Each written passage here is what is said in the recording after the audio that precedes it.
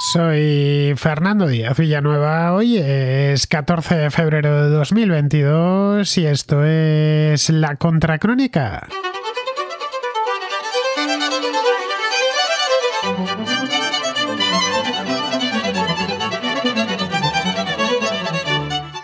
El Partido Popular ganó ayer las elecciones regionales en Castilla y León.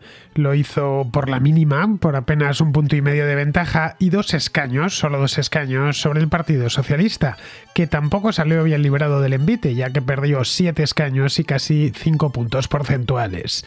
El gran, gran triunfador de la jornada fue Vox, que aunque se presentaba con un diputado muy desconocido para el gran público, se las apañó para conseguir 13 escaños y el 17,6% de los votos. De este modo, el popular Alfonso Fernández Mañueco, actual presidente de la Junta de Castilla y León, podrá seguir gobernando, pero solo si llega a un acuerdo con Vox. No sabemos qué tipo de acuerdo es el que alcanzarán al final, si es que alcanzan alguno. Entre ambos, eh, la realidad es que rebasan sobradamente la mayoría absoluta en las Cortes de Castilla y León, que es de 41 escaños. Al margen de que puedan eh, permanecer en el gobierno, Alfonso Fernández Mañueco y el presidente nacional del Partido Popular, que es Pablo Casado, han perdido una apuesta, una apuesta un tanto arriesgada y temeraria que realizaron a finales de diciembre, cuando decidieron romper la coalición con Ciudadanos y lanzarse en plancha una convocatoria electoral en Castilla y León. Pensaban dar algo así como un ayusazo, es decir, conseguir la mayoría absoluta o quedarse cerca de ella pero tal y como hemos tenido ocasión de ver, no ha sido el caso. El Partido Popular ha igualado los resultados de 2019, de hecho se ha quedado un poquito, ligeramente por debajo, y pasa de, depender de un socio cuyo partido estaba con Ciudadanos, cuyo partido se encontraba en liquidación, a tener que echarse en manos de una formación ascendente como Vox. En la izquierda los resultados han sido peores. El PSOE, que consiguió el primer puesto en las elecciones de mayo de 2019, ha perdido mucho apoyo, nada menos pues lo que decía antes, casi un 5% de los votos, y Podemos, su socio en el gobierno nacional, se ha mantenido en porcentaje de voto, pero ha perdido un escaño de los dos que tenía.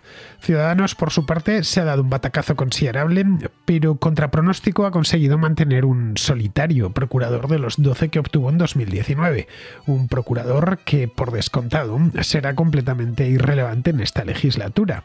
La otra gran sorpresa de la jornada fue la irrupción de un nuevo partido, llamado Soria Ya, que se presentaba pues como reza su nombre solo por esta provincia y que ha logrado tres escaños. Ha sido el partido más votado en la provincia.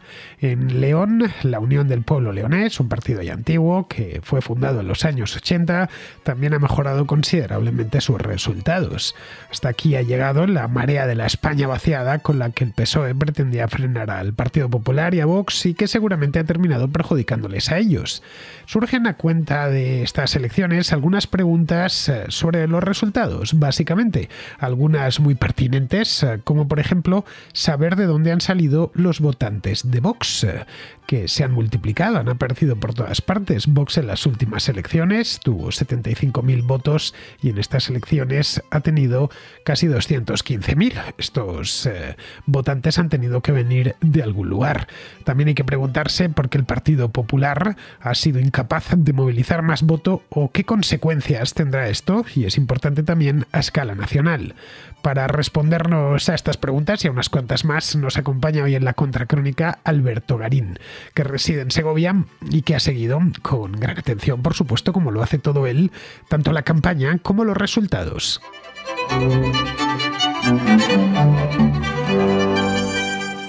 Tengo al otro lado de del hilo telefónico, tengo a Alberto Garín, que está en Segovia, está en Vegas de Matute, donde hoy ha habido elecciones, como en toda Castilla y León.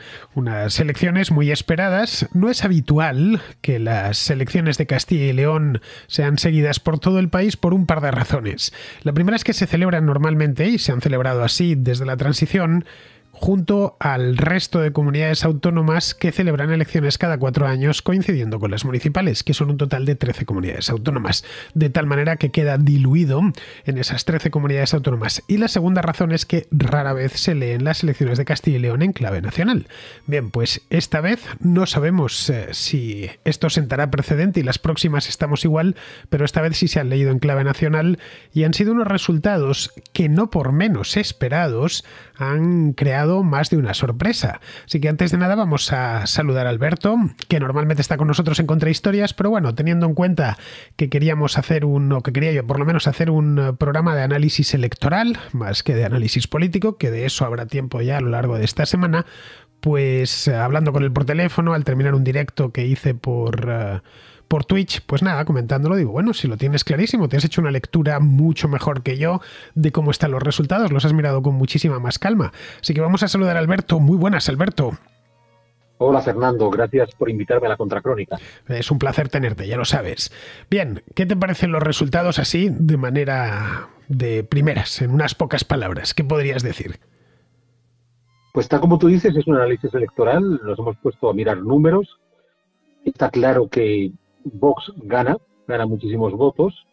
Los partidos representativos de entidades locales también suben. Y los otros partidos de entidad nacional, PP, PSOE, Ciudadanos y Podemos, en esta ocasión en coalición con Izquierda Unida, pierden. Sí, la cosa parece clara. Hay un gran ganador que es Vox, y es ganador entre otras cosas porque las últimas elecciones que ya se presentó, las del año 2019, en aquel momento Vox estaba poco menos que recién aparecido, había hecho su gran debut. Bueno, Vox es un partido que nació en 2014, pero digamos que no se comió un colín durante mucho tiempo, atravesó el desierto, empezó atravesando el desierto, digamos, y fue en diciembre de 2018 cuando irrumpió con bastante fuerza, por cierto, en Andalucía con 12 escaños. Y bueno, hicieron sus cálculos y dijeron, bien, a partir de ahora entramos en un ciclo electoral de las regionales, más luego vinieron las nacionales. Bueno, perdón, vinieron primero las nacionales, luego las regionales y municipales y luego de nuevo las nacionales. Pues ahí trataron de hacer fortuna y la verdad es que la hicieron, especialmente en la segunda mitad del año, no tanto en la primera. La cuestión es que en esas elecciones Vox se quedó pues con, tengo aquí los datos, un solo escaño, 75.000 votos y el 5,5% de los votos. En esta ocasión se ha ido a 13 escaños, falta todavía algo por escrutar, podría cambiar, Estamos haciendo esto, mm, Alberto y yo, justo al terminar el escrutinio. Está escrutado pues casi el 99%. Algo puede cambiar, pero vamos, no creo que vaya a cambiar nada serio. Y lo que tenemos son 13 escaños, 210.000 votos y el 17,6%. El salto ha sido bestial. La pregunta que yo me he hecho desde que he empezado a ver los resultados, que estaba en directo en Twitch, y que se ha hecho Alberto, por supuesto, también. No olvidéis que la metodología de la historia y la del periodismo es exactamente la misma, que es hacerse preguntas. La pregunta que yo me he hecho es de dónde han salido esos votantes. Es decir, de los 75.000 eh, que tuvo a los 210.000 es más del doble. ¿De dónde han salido esos votantes, Alberto? ¿O dónde crees que han salido esos votantes? Porque del, PP, pues del PP obviamente no, y el PP se ha mantenido. Como tú dices, si hacemos recurso de historia, y miramos no solamente las elecciones de, hoy, de 2022, damos un vistazo a 2019, 2015, un primer dato interesante es la brutal pérdida de votos que ha sufrido Podemos más Izquierda Unida en estos siete años. Hay que pensar que eh, de 2015 a 2022 Podemos Izquierda Unida ha perdido 160.000 votos. Hemos de pensar que unos cuantos de esos votos se han ido a Vox. Sé que afirmar esto parece extraño, este salto de la extrema izquierda a la extrema derecha, pero en realidad estaríamos en un proceso muy similar al que vivió Francia hace un par de décadas, cuando el Frente Nacional adquiere carta de identidad importante, en el que se comió una cantidad notable de votos que venían del Partido Comunista tradicional francés. Bien, aquí si nos vamos a las elecciones de 2015, que es un experimento que como buen historiador ha hecho Alberto, no nos hemos quedado en las últimas, sino nos hemos ido a las de 2015, que fue cuando irrumpió en aquel entonces Podemos. Podemos en aquellas elecciones que se celebraron el 24 de mayo de 2015, no ha llovido nada desde entonces, obtuvo 10 escaños, pero habría que sumarles el escaño extra que obtuvo Izquierda Unida. En aquel, todavía en mayo de 2015 no se habían fusionado ambas formaciones y lo que encontramos aquí en 2015 es que entre Podemos e Izquierda Unida sacaron nada menos que 11 escaños y sobre todo, y esto es lo importante, un 17% del voto, que se corresponde así a grandes rasgos con el voto que ha tenido Vox en estas elecciones. Eso es, por supuesto, no estamos pasando todo el voto, o sea, el crecimiento de Vox no corresponde exclusivamente al voto de Podemos. Es muy seguro que en este crecimiento de Vox hay que poner antiguos votantes del PP, y antiguos votantes de Ciudadanos, pero es algo, si hacemos esa lectura a nivel nacional, a retener. Es probable que el crecimiento de Vox por la derecha, pensando en PP y en Ciudadanos, esté empezando a tener ciertos límites, pero la cantidad de votos que Vox va a recuperar desde la extrema izquierda nos puede sorprender. Luego hay otro elemento y es el de la famosa España vaciada. Al parecer, y esto lo sabes porque vives allí, vives en la España vaciada, nunca mejor dicho, además en una parte de la España vaciada especialmente vacía, como es Vegas de Matute, que es un pueblo muy pequeñito con muy pocos habitantes. Bien, se decía hace solo unos meses, cuando hubo la convocatoria, vamos, que no fue hace tanto, se decía que iba poco menos que aparecer un partido por provincia y que eso iba a determinar las elecciones. Al final no ha sido para tanto. Eh, por Ávila, por ejemplo, ya existían, por Ávila además se ha mantenido esencialmente con los mismos votos que ya tenía, bueno, ha subido, ha pasado del 0,6% eh, que tuvo en 2019 al 1,1% y le ha granjeado pues los mismos escaños, los mismos procuradores, que es uno, pero se ha irrumpido con bastante fuerza un partido llamado Soria Yam, que se presentaba, como su nombre indica, solo por Soria, y que de pronto se ha colado en las Cortes de Castilla y León con tres escaños. Es decir, tiene más representación que Podemos y más que Ciudadanos.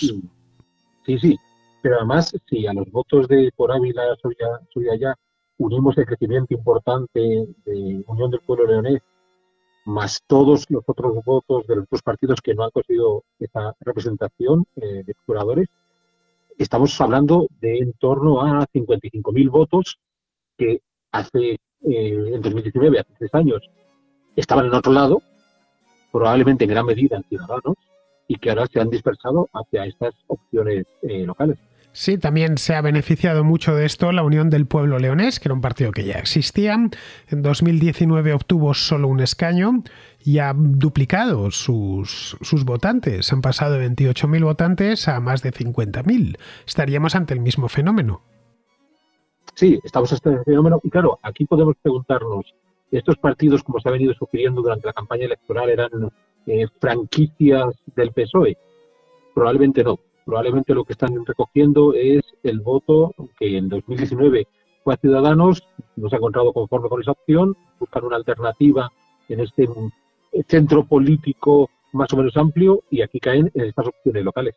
Claro, lo que tendríamos aquí es que no lo sabemos, evidentemente, bueno, conocemos, no hemos sido votante o votante, pero sí parece claro que parte de ese voto que ha perdido Ciudadanos, que es considerable, Ciudadanos ha pasado de 205.000 votos a poco más de 50.000, es decir, estamos hablando de cuatro veces menos de lo que tuvo en 2019, ha tenido que irse a algún sitio. Evidentemente al PP no se ha ido porque se ha quedado como estaba. Del PP se diría que ahora mismo, con los datos que tengo delante, ya digo, no está al 100% escrutado, pero prácticamente está al 99% escrutado, el Partido Popular tiene prácticamente el mismo porcentaje de votos, de hecho un poquito menos, que tuvo en 2019. Luego ahí no ha habido cambio. El Partido Socialista ha perdido votantes, ha pasado del 34% de los votos al 30% de los votos. Así que estos votos, Vox evidentemente ha recogido, no ha perdido el, Unión del Pueblo Leonés o Soria ya han tenido que sacarlos de algún lado. Y a mí solo se me ocurre Ciudadanos, que es el único partido grande que ha perdido en grandes cantidades.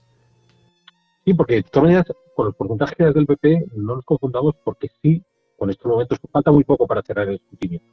Pero el PP tiene menos votos en, cantidad real de lo que tuvo en 2019 y probablemente esos 50.000 votos que le están faltando al PP han podido ir hacia, hacia Vox.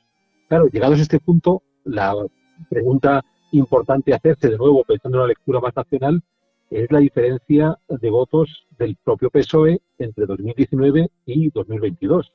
Porque estamos hablando que ha perdido más de 100.000 votos, tiene como 120.000 votos menos. Dado que no es Podemos quien ha recogido 600.000 votos, ¿dónde están? Pues a lo mejor podemos pensar que sencillamente se le están muriendo los votantes al PSOE. O sea, que eh, este votante tradicional que desde la transición había apostado por esa figura de progreso que suponía el PSOE, pues bueno, ya han pasado más de 40 años de la transición y se nos está muriendo a los votantes al PSOE. O sea, que yo si fuera eh, miembro del PSOE me inquietaría de pensar que tengo un problema claro de que biológicamente estoy perdiendo votantes. Y algo parecido le está pasando, no de una manera tan acusada, pero algo parecido le está pasando al PP. Probablemente también, probablemente en esa pérdida de votos que vemos del PP. Por supuesto, hay abstención, ¿eh? porque hay, creo que hay un punto menos de, votantes en, esta ocasión que hace, hace tres años.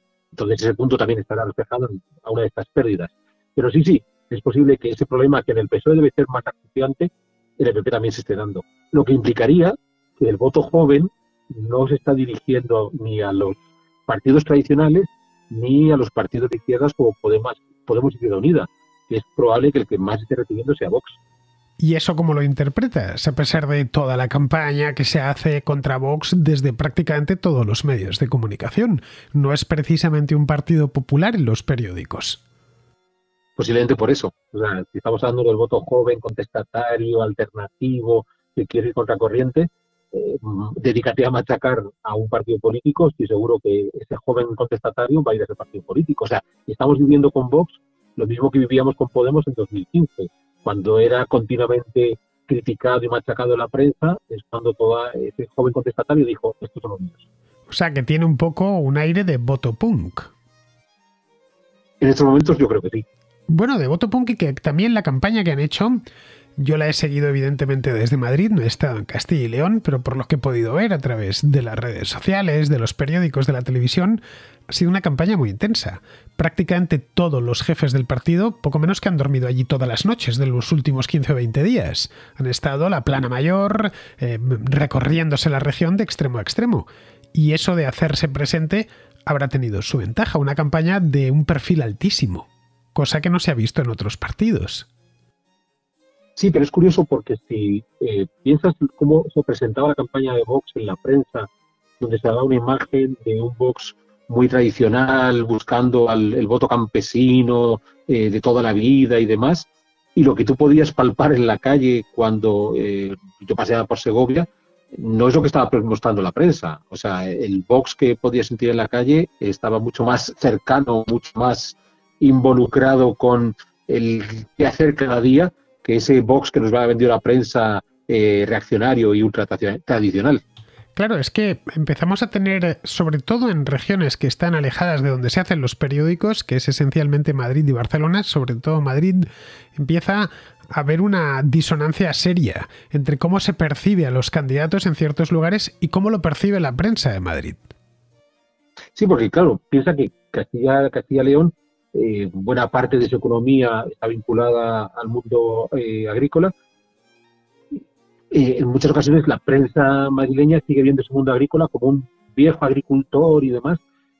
Todos esos ya se jubilaron o se murieron. O sea, el campo, el campo en Castilla y León ahora lo llevan jóvenes o no tan jóvenes, porque pueden tener 40 años, pero no estamos hablando de un agricultor de 70 años, estamos hablando de gente de 30, 40 o menos años que son los que han tomado la decisión de volver a trabajar en el campo. Entonces, claro, eh, cuando Vox se dirige a ese sector, se está dirigiendo a esta parte más joven de la sociedad. Luego hay otra cosa y es el carácter nacional de estas elecciones. Lo que decía al principio, que las elecciones de Castilla y León este año, por primera vez que yo recuerde, se han leído en clave nacional. El gobierno de Pedro Sánchez está muy desgastado, en fin, han pasado muchas cosas en los últimos dos años, han pasado solo, bueno, dos años, va para tres ya, desde que hubo las elecciones regionales en Castilla y León, bueno, han pasado muchísimas cosas en los últimos tres años. Eh, la principal y fundamental ha sido la pandemia y todo lo que le ha rodeado. Y se pensaban, y en parte, ojo, lo que, los que lo pensaban estaban en lo cierto, que los partidos que conforman el gobierno, Podemos y el PSOE, iban a recibir un castigo por parte de los electores. En el caso de Castilla y de Castilla y León ha sido claro el castigo. Es decir, entre PSOE y Podemos han perdido un puñado largo de votos. Sí, sí, pero quizás es más interesante pensar que ese castigo a la política que no han logrado desarrollar ha ido más dirigido hacia Podemos. O sea, yo insisto en esta sensación de que hay un trasvase claro desde el mundo de la extrema izquierda hacia la extrema derecha, frente a lo que le ocurre al PSOE, que lo que ocurre es que está teniendo este desgaste biológico de su electorado.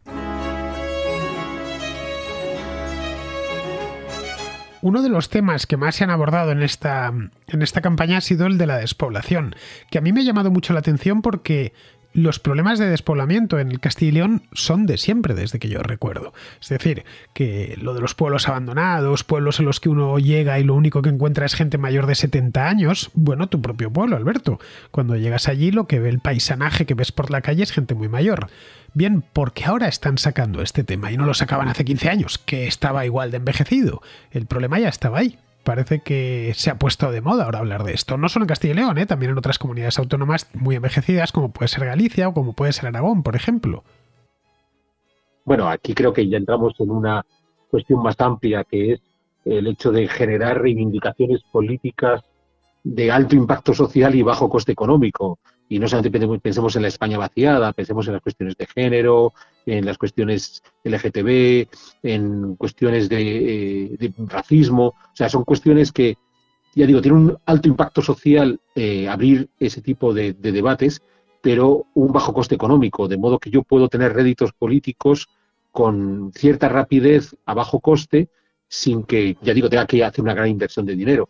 Entonces, eh, creo que está dentro de, esa forma de enfocar ahora eh, el crear una agenda política a partir de problemas que han podido existir de siempre, incluso en el pasado mucho más graves, pero que ahora los aprovecho porque, como ya no tengo recursos económicos para eh, protestar en otros terrenos, pues los aprovecho en aquellos donde ya digo, hay un alto impacto social a un bajo coste. Bueno, una de las cosas que me llamaba la atención, si lo que he podido yo seguir la campaña desde Madrid, era que la palabra Madrid aparecía por todos los lados, generalmente en un entorno negativo, es que los jóvenes se van a Madrid, es que, claro, no puede ser, se está yendo la gente para allá y, con lo mal que se vive en Madrid, en fin, haciendo madrileñofobia de baratillo, que es una de las especialidades de, de buena parte de la política española últimamente, pero claro, yo no sé hasta qué punto eso que podría funcionar en algunas comunidades autónomas, yo no sé hasta qué punto eso puede llegar a funcionar en Castilla y León, que está muy imbricada, especialmente en las provincias limítrofes como son Segovia o Ávila, eh, ese tipo de mensaje, ¿no? De, es que los jóvenes se van a Madrid, los jóvenes siempre se han ido a Madrid, por lo menos unos cuantos, los que estudiaban o los que querían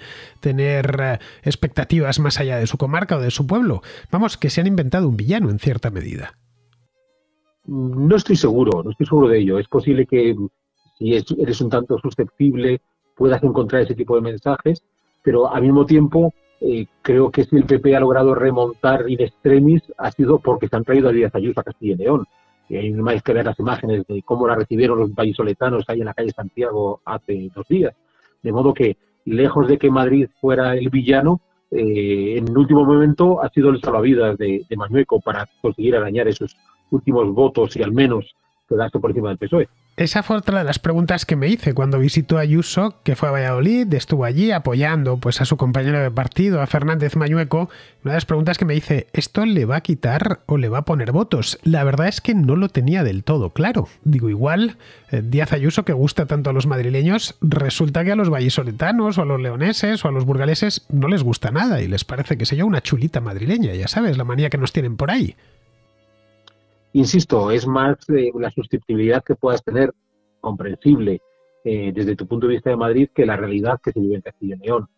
Porque incluso tú decías, las provincias imbricadas con Madrid, ¿no? La cercanía de Segovia a Madrid o de Ávila a Madrid, es que quitando, mm, sí, León, porque ya queda realmente distante, o algunos sectores del norte de Burgos o de Palencia, es muy fácil para muchísimos estudiantes el ir y volver eh, cada día a Madrid. Y a, quien, se, que parece chocante, pero desde Valladolid cada mañana hay autobuses que van a la Universidad de Madrid y, regresan por la tarde, por ejemplo. Entonces, no, no, esa imagen del villano mm, es posible fabricarla si queremos buscar, como tú dices, ese malvado, pero en el día a día, en la vida cotidiana de Castilla y León, quitando eh, la parte más eh, alejada de Madrid, ya digo, León, norte de Palencia, norte de Burgos, esa imagen no, no, no, funciona. Bueno, ten en cuenta que Madrid es eh, las afueras de Valladolid, desde que se abrió el AVE, hace ya de esto 15 años. Está solo a 50 minutos en tren.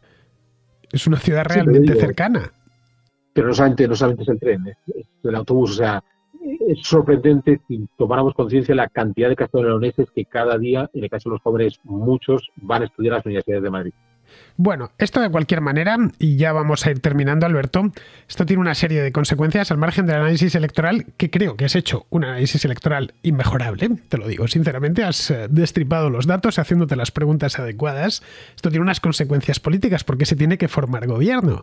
El gobierno es exactamente el mismo, es el de Fernández Mañueco, no va a cambiar de presidente la, la comunidad de Castilla y León, pero sí va a cambiar seguramente de vicepresidente.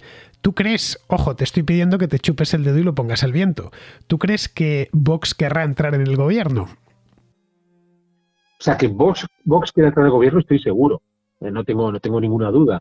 Otra cosa es que sean capaces de retorcer los datos desde el PP de tal manera que digan, bueno, pues mira, si no me votas sin que yo te permita entrar en el gobierno, eh, doy un paso atrás, dejamos que el PSOE haga una coalición arcoíris compleja y con mi abstención, tu oposición, ellos salgan adelante y al final tú, Vox, seas el culpable de que el PSOE gobierne Castilla y León. ¿Se atreverán a llegar tan lejos de este Partido Popular? No lo sé. Pero lo que estoy convencido es que Vox va a tratar todo lo posible para entrar en el gobierno de Castilla y León. Claro, esto sería la primera vez que entra en el gobierno de una comunidad autónoma, porque en Madrid lo que permitió es el paso de Díaz Ayuso, en Andalucía permitió el paso de Juan Manuel Moreno sin ningún problema, les dejó gobernar, pero en, este caso ya se ven ante la posibilidad cierta de quedarse con una vicepresidenta, de una vicepresidencia. De hecho, tienen más, eh, más votos de los que tuvo Ciudadanos en... Ahora mismo, ¿eh? estoy hablando. Ciudadanos tuvo 205.000 votos y Vox tiene 215.000. Es decir, que 12 escaños, ahora tienen 13, un escaño más de lo que tenía Ciudadanos. Y Ciudadanos pidió muchísimo. El vicepresidente Francisco Igea, que creo que ha renovado escaño, ve un escaño aquí, supongo que será el suyo, eh, le puede, les puede pedir mucho, les puede apretar bastante las tuercas, a poco que lo negocien bien. Sí, ya te digo que Vox va a apretar las tuercas y además a un año vista de unas elecciones generales poder ofrecer una tarjeta de visita donde pongas ya somos gobierno y hacemos esto, esto y esto, les interesa mucho. Lo que no sé es hasta qué punto el PP se puede arriesgar a apostar fuerte y decir, vótame sin entrar en el gobierno, porque si no, dejo que el PSOE haga esa coalición arcoiris y gobiernen ellos. Tendrá también esto una consecuencia nacional, o muchos esperan que la tenga. Eso ya se escapa evidentemente de las elecciones de Castilla y León, pero es que la cosa estaba íntimamente unida con el Partido Popular a nivel nacional. Es decir, la apuesta de Mañueco era la apuesta de Casado, no lo olvidemos. Y en este aspecto han jugado y no diré que han perdido, porque perder no ha perdido, sería, sería una necedad decirlo, pero tampoco han ganado. Ha sometido a una presión a la comunidad autónoma, la lleva a elecciones, se ha gastado el dinero que cuesta convocar unas elecciones para cambiar de socio y encontrarse con un socio más correoso y con el que es más difícil o por lo menos más impopular llegar a un acuerdo. Luego la apuesta no le ha salido del todo bien y esto tendrán que explicarlo de alguna manera, no solo en Valladolid, sino también en Madrid. ¿No te parece a ti? Es que claro, supongo que en sus cuentas sacaban más diputados el PP, sacaban menos diputados Vox, por tanto no se veían obligados a permitirles entrar en el gobierno, pero es que en el momento que los dejen entrar en el gobierno, con que las cosas les vayan medio bien en, este gobierno, en un año, insisto, Vox se presenta con esta tarjeta de visita, ya somos gobierno y lo estamos haciendo bien, eh, porque somos nosotros, entonces dejar de votar al PP y votarnos a nosotros. Entonces, claro, eh, de repente se ha hecho aquí un Araquiri el PP eh, en estas elecciones inquietante. Eso me lo contaste el otro día cuando viniste, que hicimos la última contrahistoria, la de este viernes, y me decías eso mismo, que claro, el PP, que hablamos un rato de las elecciones de Castilla y León, me decías, el PP tiene ahí un problema, un dilema fastidiado. Y es que si gobierna con Vox, eh, puede ser que le esté diciendo a sus propios votantes, no os preocupéis, podéis votar directamente a Vox, porque a fin de cuentas ellos os van a representar mejor. Es decir, que muchas veces escoger al aliado es fundamental un aliado te puede dejar sin votos. Sí, por eso es por lo que digo, tenemos que ver qué actitud va a tomar el PP ahora. No creo que mañana hagan anunciar un gobierno de coalición con Vox. Supongo que estirarán todo lo posible gobernar en minoría para evitar que en el futuro Vox termine por convencer a su electorado. Bueno, vamos a ver, no sabemos lo que va a pasar esta semana, no tenemos ni idea, pero bueno, sí que podemos decir que casi con toda seguridad que el próximo presidente es, eh, de Castilla y León es el mismo que tenemos ahora mismo, es decir, Alfonso Fernández Mañueco, como bien ha dicho Alberto, podría suceder, podría suceder que les amenazasen con dejar gobernar al PSOE, que les haga un acuerdo de estos con todos los partidos que han salido, partidos pequeños y grandes. Bueno, debajo de Vox todos ya son pequeños. El, después de Vox el siguiente es la Unión del Pueblo Leonés con tres escaños. Bueno, pues que haga un acuerdo arcoíris al máximo, pero podría ser una amenaza. Pero ya sabes que las amenazas tienes que estar dispuestos a, dispuesto a sostenerlas y no creo que estén dispuestos a desprenderse de la autonomía solo para meterle miedo a Vox. También ten en cuenta otra cosa, y es que puede ser que reciban presiones serias para no pactar con ellos. De hecho, estaba echando un vistazo ahora mismo, justo al terminar el directo, y he visto que en algunos sitios ya están diciendo que quizá mm, compense hacer una gran coalición, PP-PSOE. Es decir, justo lo que no se dio después de las elecciones de, noviembre de 2019, que se haga a escala regional. Eso yo desde luego no lo veo posible. Pero no sé si en Castilla y León sería posible. No creo que, de nuevo, estamos leyéndolo en clave nacional, tú y yo hoy aquí y la mayor parte de los miembros de estos partidos también. Entonces, claro, si haces esa gran coalición a nivel Castilla y León, eh, es algo que puedes replicar a nivel nacional y entonces, entonces sí que el PP está totalmente hipotecado. Porque ahí es cuando el Vox podría decir, es que si votáis al PP estáis votando al PSOE. Claro, eso sí que sería su suicidio definitivo.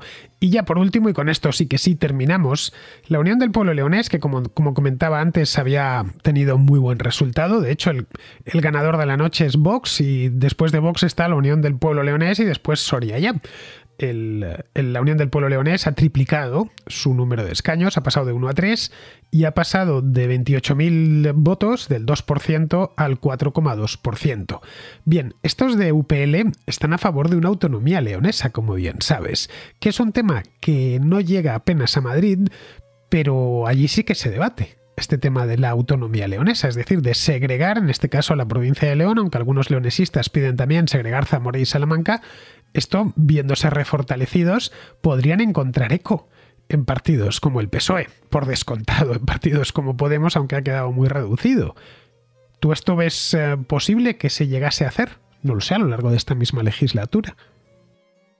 Que lo van a reclamar, sí, porque además es, Unión de Pueblo Leonés es un partido, digamos, viejo, hace muchísimo tiempo que está en las instituciones, en la Junta ha estado en varias ocasiones, es un poco gaudiana, aparece y desaparece en la Junta de Castilla y León.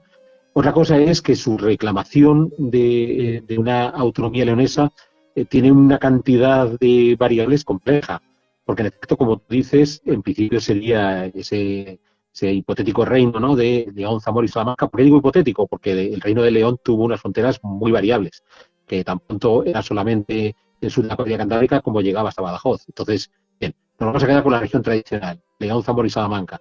Pero es que posiblemente en, ese, en esa región tradicional Zamora y Salamanca no tengan ningún interés de acompañar a la Unión del Pueblo Leonés, pero el otro inconveniente es que a lo mejor al día siguiente hacer la autonomía de la provincia de León, la mitad de la provincia es el Bierzo, y que además también tiene sus partidos que se han presentado y que han sacado unos cuantos miles de votos en las elecciones, como, todos los, como todas las elecciones, pues al día siguiente estarán reclamando su propia autonomía. O sea, eh, es como reclamo político, está bien como intención, ¿por qué no? Cada cual tiene la ilusión de tener la autonomía que desea. Otra cosa es que tenga eh, posibilidad de ir adelante por el, eh, el, lío tremendo en el que se metería, bien, primero, con un Zamora y un Salamanca que probablemente no les acompañe, y segundo, con un Bierzo que se les puede separar. Sí, porque el Bierzo es una comarca natural que hay dentro de León que también tiene sus propios regionalistas, es decir, que hablan incluso de que tienen una lengua propia, que es el gallego. Supongo que habrá sido alguna vez, bueno, tú has estado allí, me consta, porque la provincia de León me consta que te gusta mucho, concretamente la comarca de Bavia. Me lo dijo en cierta ocasión hace muchos años Alberto, que a él estar en Bavia era lo que más le gustaba. Yo lo interpreté de manera figurada. Dije, hombre, si ya sé que de vez en cuando estás en Bavia, Alberto dijo, no, no, caray, en Bavia de verdad, en la comarca de Bavia que está en León. Sé que te gusta mucho y que conoces el Bierzo. Allí que yo he estado en alguna ocasión, te encuentras pintadas que ponen Bierzo Ceibe. No sé si las habrás visto.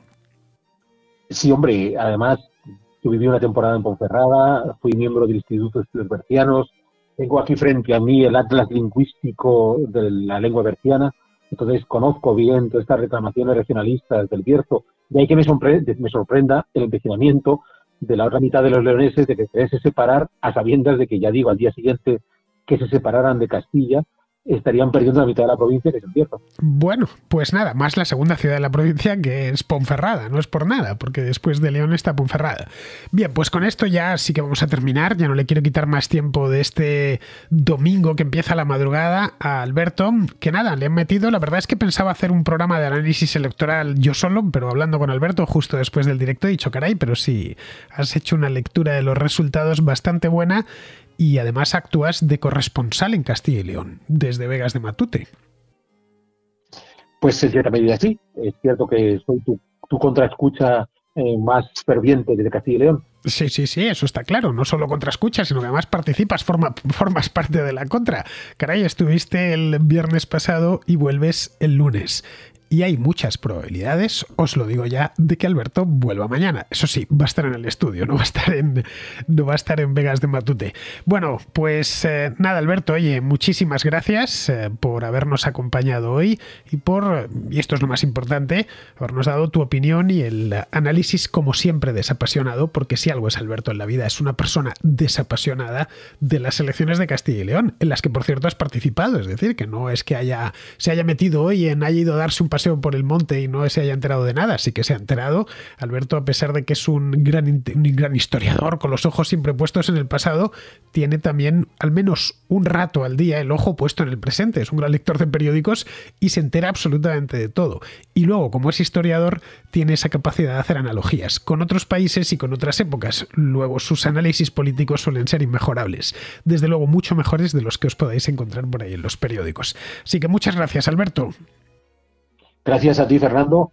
Y en, efecto, confieso que a mí esto de votar me apasiona y como tengo la ventaja de tener una doble nacionalidad, tengo la posibilidad de votar en dos países. Sí, todo lo que te gusta a ti no me gusta a mí. Bueno, nosotros vamos a ir despidiendo. Antes eh, de irnos, vamos a pasar por la pizarroteca, es decir, por el espacio de pizarro, y después ya nos despedimos. La posibilidad del consumo audiovisual sin el dictado de contenidos, momentos e interrupciones de los medios clásicos han convertido a los consumidores audiovisuales en tiranuelos infantiloides, esclavos del cuándo, cómo y lo que yo quiero con bufones a sueldo incapaces de satisfacer sus perpetuos caprichos. Las audiencias han pasado de decidir encender o apagar a poder elegir entre tanta oferta que el criterio se centra en quién tiene lo que yo quiero ahora. Las televisiones han perdido el paso y las plataformas de streaming no son capaces de cogerlo, mientras la audiencia siente la libertad de encerrarse en casa y ver lo último, cuyo mayor mérito reside precisamente en eso. Un cordial saludo de Pizarro. Y con esto, queridos amigos, ya terminamos la contra de hoy. Ha sido una contra un tanto atípica, una contra de análisis electoral como las que suelo hacer después de todas las elecciones, desde luego de todas las que se hacen en España. Espero que os haya gustado. Alberto Garín ha estado con nosotros, no por nada, ha sido algo, algo improvisado, porque ayer cuando estaba haciendo el, al terminar mi directo en Twitch, pues me llamó por teléfono, comentamos durante un rato los resultados. Yo durante el directo estuve pues entre una hora y media y dos horas en directo, no había tenido tiempo de estudiarlos con calma y el que había estado en su casa relajadamente, pues sí los había estudiado con mucha más calma y le comenté de ponernos en, meternos en antena, vamos, grabar nuestra conversación en formato contracrónica. Espero que haya sido de vuestro agrado. Entre tanto, pues nada, mañana tenemos un programa muy interesante. Mañana martes, que será 15 de febrero. Espero que estéis ahí para escucharlo. No os voy a dar más pistas. Eh, los que sigáis la contra en directo ya sabréis de lo que hablo. Pues hasta mañana amigos.